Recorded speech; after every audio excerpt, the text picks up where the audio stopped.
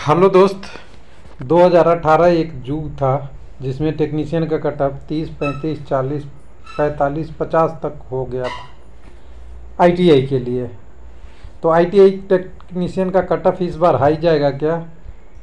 Selection की उम्मीद रखे या एलपी एनटीपीसी लेवल वन की तैयारी रखे।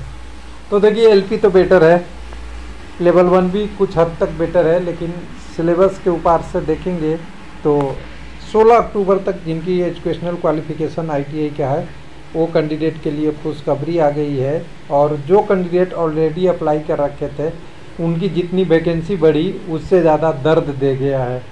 तो कुछ लोग कहेंगे कि दर्द कैसे? तो इस वीडियो में अप्लाई करते हैं और समझते हैं कि फॉर्म अप्लाई हो रहा है उनका भी, जिनका क्वालिफिकेशन 16 अक्टूबर के बाद था। लेकिन ये हम नहीं कर रहे हैं। जैसा कि आपने 27 तारीख को कोरिजेंडम देखा था, उसमें लिखा था कि सारा दो अब्लिक चौबीस का पैरामीटर लागू होगा। लेकिन उसके बाद ए की ला के कोरिजेंडम के रूप में डाल दिया और उस कोरिजेंडम से आप समझ सकते हैं कि आपको ऑफिशियल अलाउ कर दिया। 16 अक्टूबर 2024 तक आपकी एजुकेशनल क्वालिफिकेशन है, आपके हाथ में रिज़ल्ट है तो अप्लाई कर सकते हैं। तो चलिए, झूठ बोलना नहीं, सही बोलना सही सही चीज़ों को डिस्कस करना आपके साथ हमारा काम है। बाकी हम ज़्यादा चीज़ों पे विश्वास नहीं करते कि कैंडिडेट को परेशान करें या पेपर कटिंग दिखा के इधर उधर घूमते रहें। तो यहाँ पे अगर एक मिनट वेबसाइट बहुत स्लो चल रहा है नेट की वजह से। तो यहाँ पे देखिए, एक अब्लिक एक दस दो हज़ार चौबीस को कोरिजेंडम जो आया था, वो फ्रिक्वेंटली एस टू था और साथ में दिया हुआ था कि सत्ताईस तारीख के जो क्या आया हुआ था जो 27 तारीख के सुधी पत्र या प्रतिष्ठ संख्या टू उसका महत्वपूर्ण सूचना का फ्रिक्वेंटली आस्ट क्वेश्चन है। तो एकदम आरआरबी ने सही निशाने पे आपको दिया है जवाब, कोई घबराने की ज़रूरत नहीं है। जो सबसे ज़्यादा लोगों को हीट कर रहा था और सबसे ज़्यादा परेशान भी कर रहा था, चाहे वो पुराना कैंडिडेट हो या नया कैंडिडेट हो, उनकी सवालों का आंसर एक बार हम दिखाएँगे, पहले, सबसे पहले, फिर बात करेंगे। वो था सवाल नंबर आपका आठ। क्या था? Crucial डेस्ट of educational qualification can be candidate result expected सोलह दस दो हज़ार चौबीस, यानी सोलह अक्टूबर। तो यहाँ बोल दिया कैंडिडेट पुराना या नया। Must be process educational qualification and technical qualification on before closing date of the window period for submission of the application सोलह दस चौबीस। हमारा अनुमान यहाँ फेल है, क्योंकि हमने ओल्ड का पढ़ा था और ओल्ड का ही नोटिस लिखा हुआ था कि ओल्ड डेट है, वही रहेगा। केवल अप्लाई कर सकता है जो लोग नहीं कर सकते हैं। तो रेलवे ने कुछ लोगों के लिए बहुत अच्छा काम किया है, इसके लिए अप्रिसिएशन होना चाहिए। ऐसा पहले कभी नहीं हुआ है कि नोटिफिकेशन के बाद विंडो तो खुली थी, लेकिन डेट नहीं बढ़ा था, इस बार डेट बढ़ा है।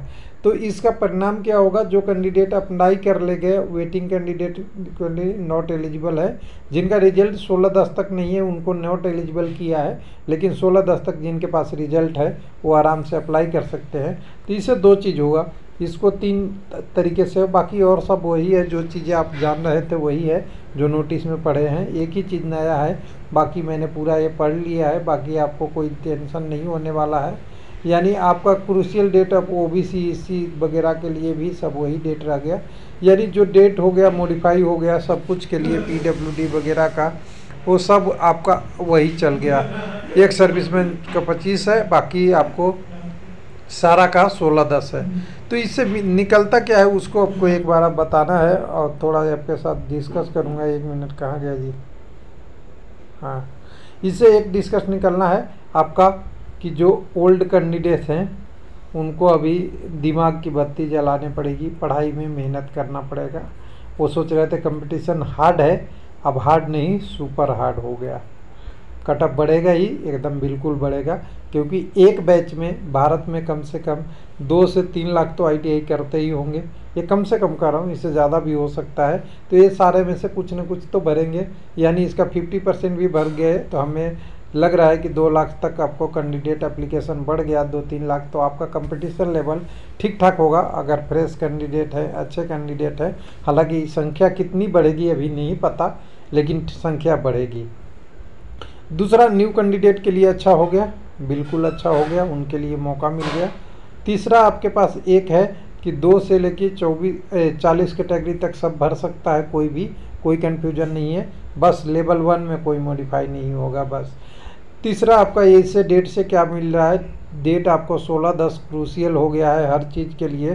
तो ये समझिए, ये आरआरबी का अब 2025 का एग्ज़ाम का तैयारी हो रहा है, क्योंकि अब ये 24 में होता हुआ दिख नहीं रहा था, पहले भी हमने बात किया था।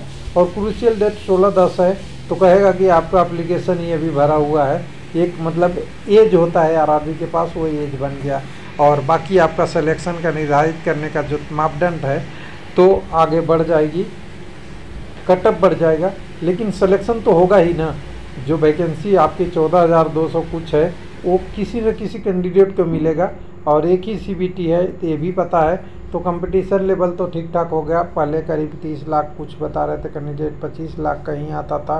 कुछ अलग अलग खबर न्यूज़ में आ रहा था। लेकिन अभी ये बढ़ के बहुत अच्छा खासा संख्या बढ़ जाएगा, क्योंकि अभी एक बैच पूरी पूरी इसमें आ जाएगी।